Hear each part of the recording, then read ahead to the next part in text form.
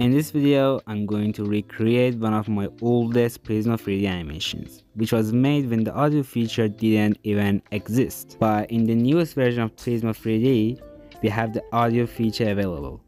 That means we can sync our audios with our animations and have a better result. So now, let's go and watch the video I created two years ago with the 2.0 version of Prisma 3D.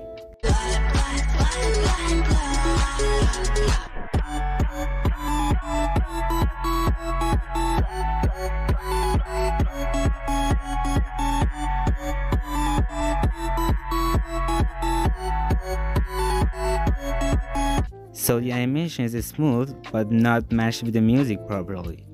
Let's see how it will come out in the newest version.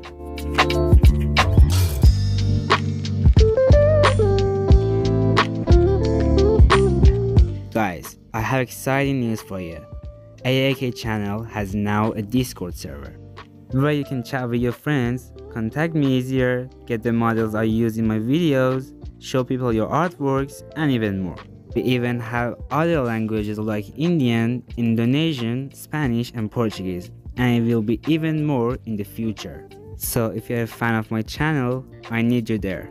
Click the link in the description and join my Discord server. So let's start with a new project. Mm, let me add a sphere.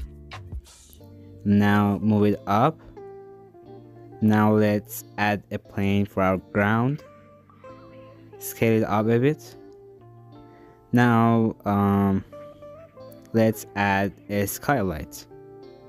I will make it darker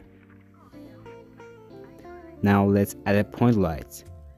Guys here's a tip. If you place the point light too far away the shadows get pixelated. So make sure to keep your point lights near the objects. Now let's use an old bug to make it bright it's now a little bit harder to do this in the new versions, but you can start with the lower values and go higher if it's not bright enough. We can see even the colors are looking good, so there should be no problem. Now the scene is ready. Now we can add our music.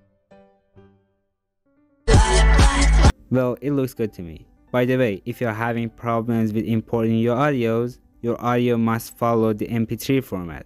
Otherwise it can cause errors and you may not be able to use your audio properly. So let's light up the scene for now to see what's happening. Um,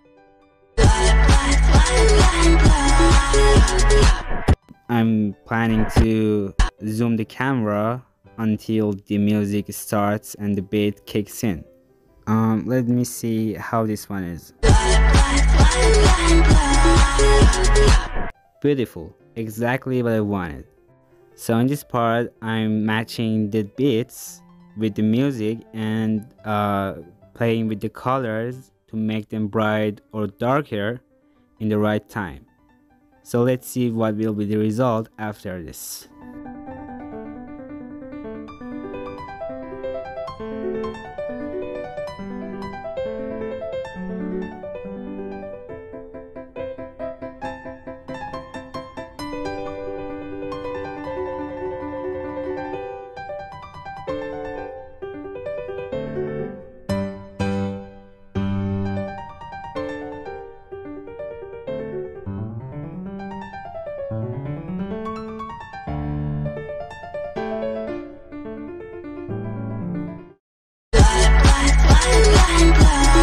So